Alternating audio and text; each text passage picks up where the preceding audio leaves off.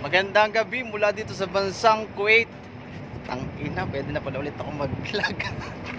Yo, magandang gabi po sa inyong lahat. Ako po si Boy Kamote Vlog.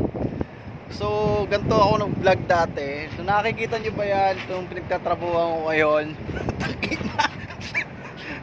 Oh, ito po, nandito po ako sa restaurant ngayon katrabaho gabi ngayon dito, alas 12, mag alas 12 na madaling araw. So, kamusta kayo? Mga kapatid, mga bro, mga sis. Inabit lang mag-vlog ulit. Tamis ko to.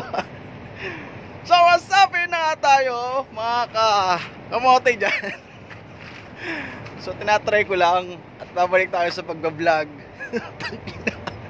Nakakamiss mag-vlog. Kamusta mga kaibigan dyan? Sa mga YouTuber ko, mga kaibigan natin dyan. Buhay pa ako!